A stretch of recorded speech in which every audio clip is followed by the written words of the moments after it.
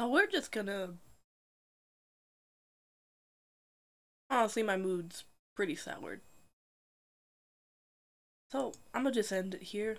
We'll continue tomorrow. I'm sorry this was such a letdown.